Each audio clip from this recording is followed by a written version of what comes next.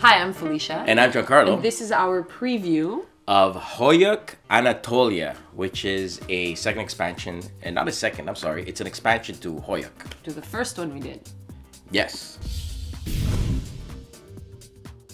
Anatolia is an expansion for Hoyuk, a game we highly rated here on Board to Death. For this expansion, new progress must be made and achieved by your clan to make it a more prominent one.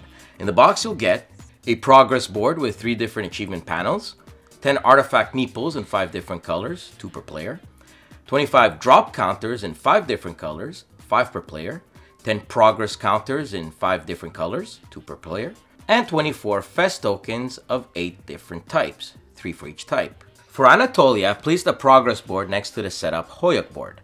Give each player their 2 artifact meeple, 5 drop counters, and 2 progress counters of their color matching their clan. Speaking of which, for Anatolia, clans cannot use their clan's unique abilities. Take all the fest counters and place them in a pool next to the board. Now starting with the first player and going clockwise, each player will place one of their progress token on one of the achievements on the progress board. The choices are from top to bottom, build artifacts, valley fest, and water supply system. Once all players have chosen a panel, another placement of the progress token continues, so as to have each player choose two achievements they'll try and complete for this game. Of course, completing one or more of their achievements will garner you victory points at the end of the game.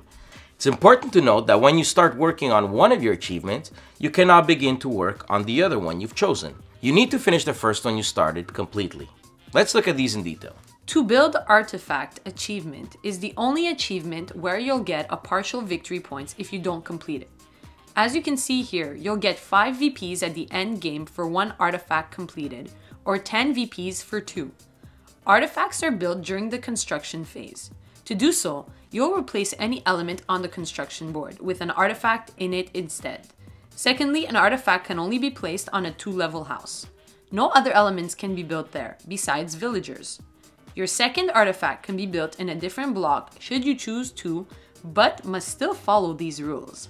Should a catastrophe affect a block where there are artifacts, all players lose their artifacts there. Should the shaman be in the block, then the artifacts are saved. This makes the shaman a lot more valuable compared to the soul base game. The Valley Fest achievement will make players get 5 different Fest tokens and offer them to Mother Earth as a token of appreciation for the goods they enjoy. To get these tokens, players will have to get aspect cards matching the image on the Fest tokens. There are 8 different images, but players only need to get 5 different ones. When a player has the 5 different aspect cards he needs, he can change them for those matching 5 Fest tokens during the construction phase. To do so, however, he will have to forego building one of the elements on that construction board. If he does, he gets the 5 Fest tokens. The aspect cards containing the metal tools designs act as jokers for any choice of Fest tokens. The Valley Fest achievement is the only one that once completed is secured for the rest of the game. This achievement will grant you 18 VPs. In the water supply achievement, you need to place all your drop counters on houses you own. For your first drop counter to be placed, the house must be built alongside or in the river and or lake. Like the other two achievements, you'll then be able to place your drop counter in the construction phase by replacing that action with one of the elements on the construction board. The next four drop counters must be placed on four other houses connecting them all to the first house, with the drop counter on it. No other elements can be placed on these houses except for villagers. If a catastrophe forces you to break a house that has a drop counter on it, take the drop counter back. You may then try to place it again by building a house connecting to the others with your drop counter. If at the end game you have a successful water supply achievement by having all of your 5 drop counters on the board, you score 15 VPs. Anatolia introduces a second way to trigger the end game by having a player finish his two achievements. The player with the most VPs wins.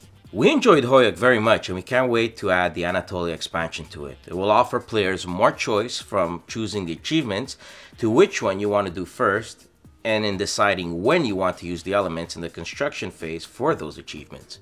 Remember, during the game, you're still vying for the aspect cards, and using those elements might be more crucial than using them for the achievements.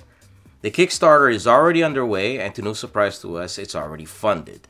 But it's not too late to get your copy of Anatolia. If you liked Hoyuk, this expansion is a must-have.